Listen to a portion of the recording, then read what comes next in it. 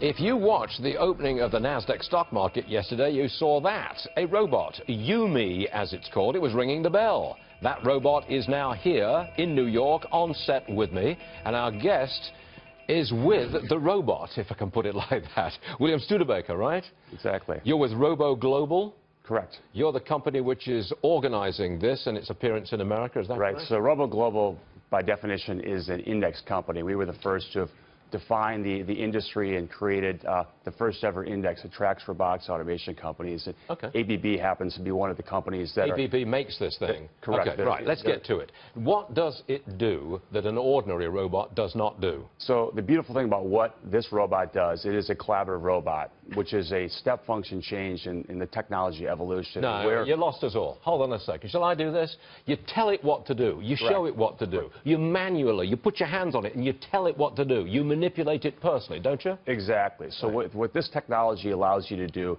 is to basically take and give it flexibility in manufacturing. You can take the robot and change the manipulation that it wants, you want it to do, versus having to do the manual recoding. So think about the flexibility that offers Yeah. manufacturers. There's 6 million small to medium-sized manufacturers globally that now can begin to implement this technology. This robot costs roughly $50,000. It works 24/7, 365 days of the year with Okay. no health care overtime. Uh, so uh, I don't need to be a programmer, a code writer to change its function. I can just show it what to do. Correct. Well, what does it do? Well, this is used instrumentally in everything from small parts uh, assembly. It's used in a lot of different variations of, of manufacturing. Um, it's being used in, in food um, um, uh, production. It's really being kind of moved out to all parts of manufacturing, and it's, it's happening now. 50,000 bucks? 50,000 Works bucks. 24-7, 365? Exactly. Okay. It's going to take a few jobs away, is it?